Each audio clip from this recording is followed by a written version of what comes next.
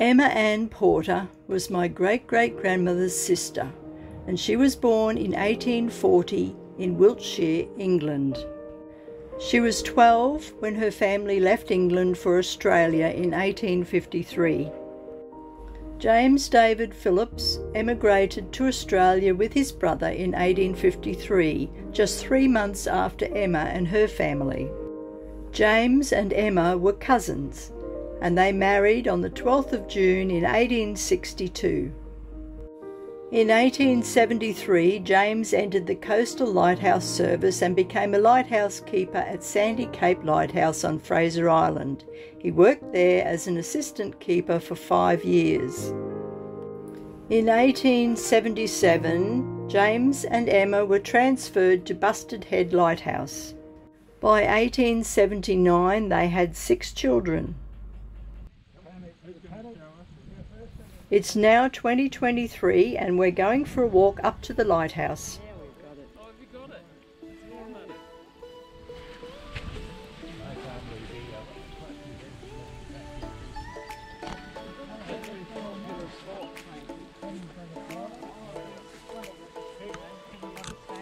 Yeah, Kevin said it was very, he, you know, he said oh, it was really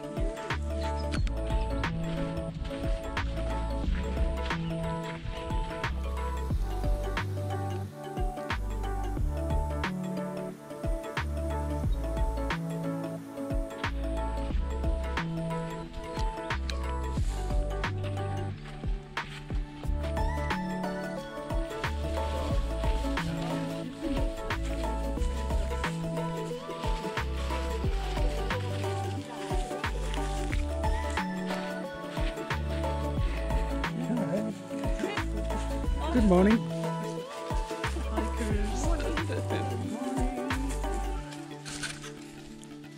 Yeah, it's hard work holding your breath. I think it's um, Stopping for a rest. Yes. You did say there was a bar at the top, didn't you? With cold beer. Sorry. You Sorry. Live, you live in hope. Jeez,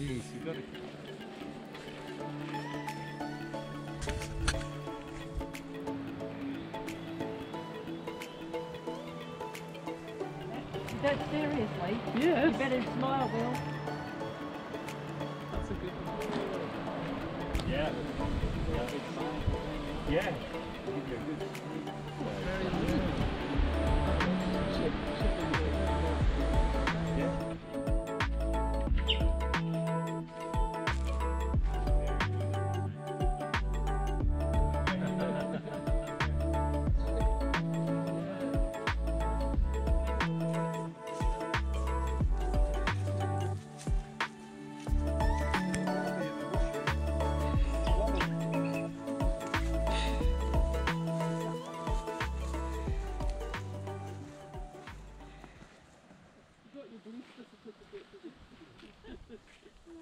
On the 14th of October 1879, the Phillipses' seven week old son Henry died of constitutional weakness.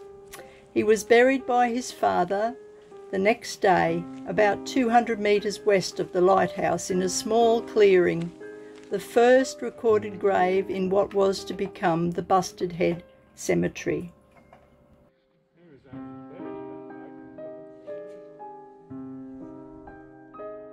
There have been so many tragic deaths at this lighthouse.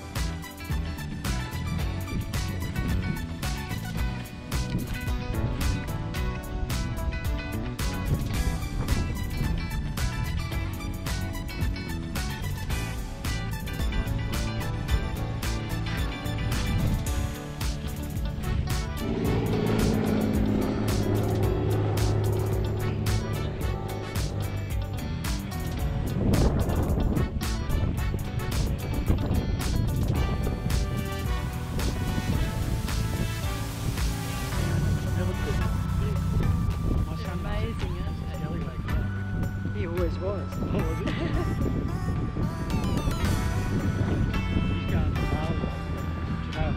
Oh, okay. You don't live there anymore? Where? Sheffield. So did they rent us? uh, There is an amazing array of memorabilia and artefacts in this museum.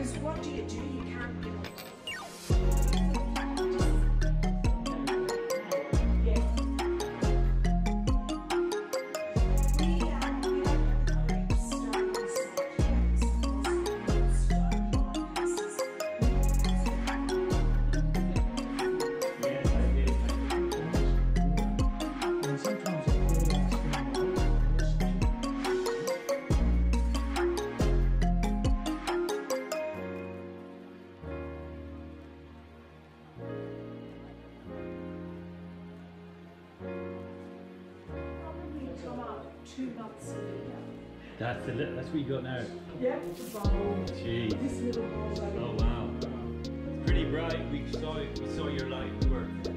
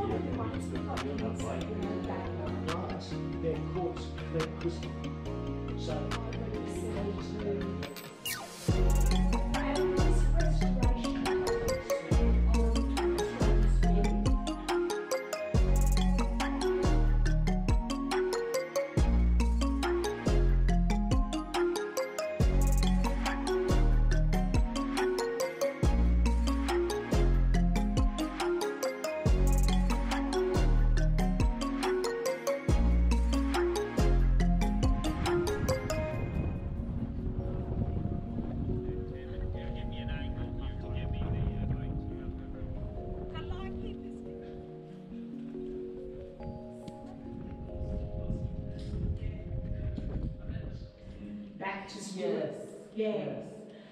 Where they brought us up. Bustard Head Lighthouse was fabricated in Bridgewater, England, and shipped to Australia, where it was reassembled at Bustard Head. It was constructed using prefabricated segments of cast iron bolted together.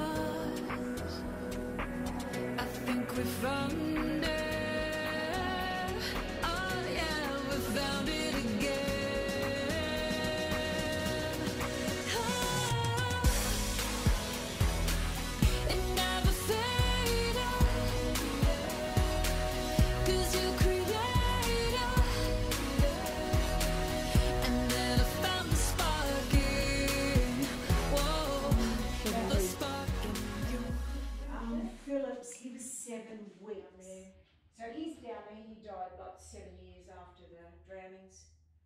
Um, and um, the, The Ruby Charlotte was built in 1957 by my grandfather Lance Watts and Alec Wright, Watson Wright, in the Brisbane River, from Spotted Gum and Oregon. The 65 footer was originally called Nadine and worked as a Thursday Island pearling lugger for 14 years. A Torres Strait owner bought Nadine and renamed her after his two daughters, Ruby and Charlotte.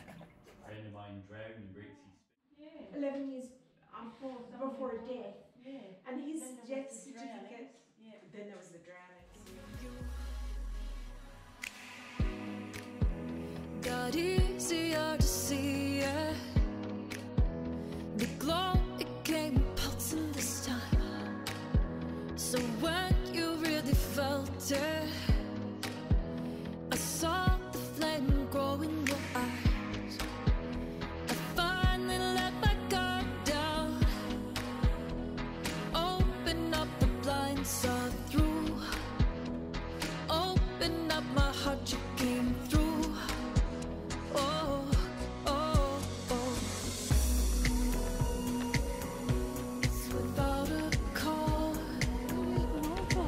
Sometimes it's just because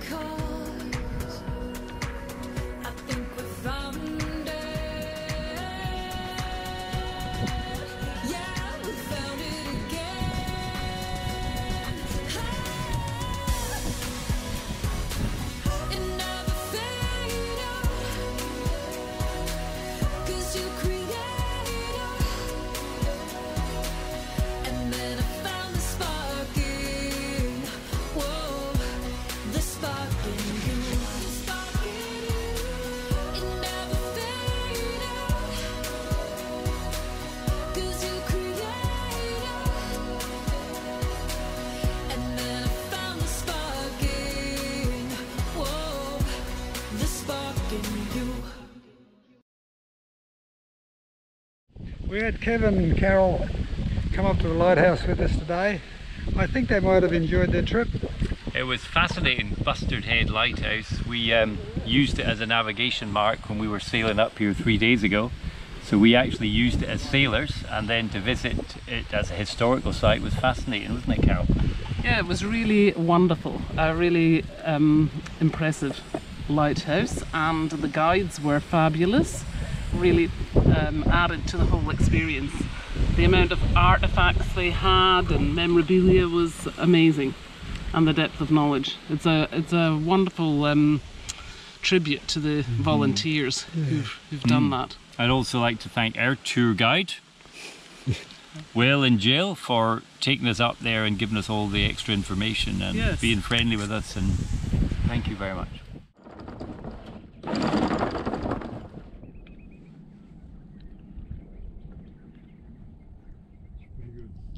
We're getting ready for the predicted big blow from the southeast that's coming up the coast.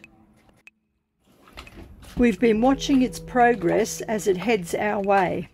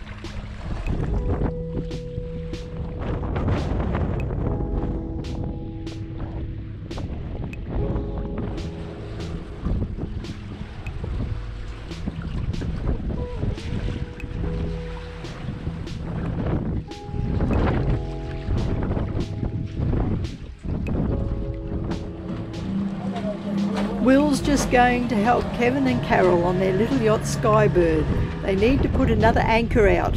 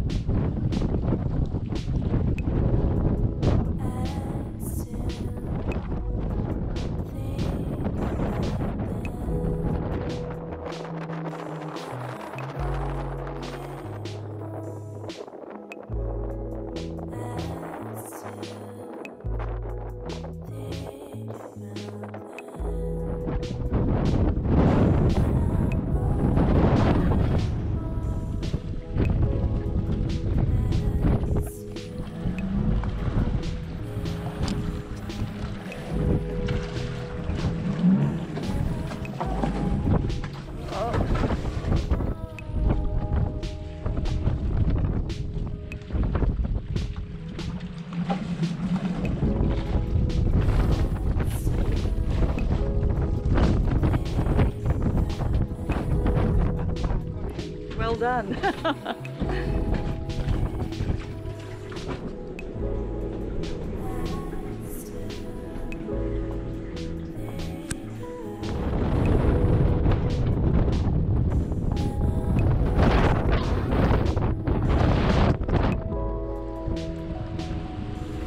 Some of the gusts were close to 40 knots.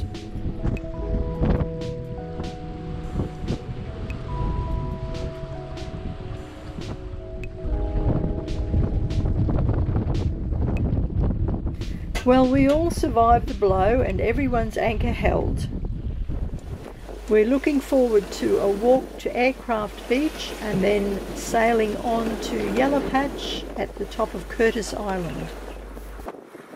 Thanks for watching and we'll catch you next time.